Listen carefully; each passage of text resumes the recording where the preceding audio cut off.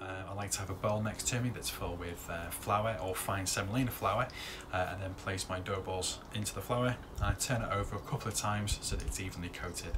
But it's a great way of preventing your dough from sticking to your hands, your worktop or even your pizza peel. When making Neapolitan style pizza, the key thing to remember is less is more. Think it's important to go light with your toppings uh, and not to overload it. If you do overload them, then it could result in an undercut base or even a heavy pizza. It makes it a lot more difficult for you to launch it off your pizza peel and into the oven. When I'm launching my pizzas into my Ooni oven, I like to use a wooden peel. Uh, and when I'm retrieving and turning, I like to use my Ooni peel.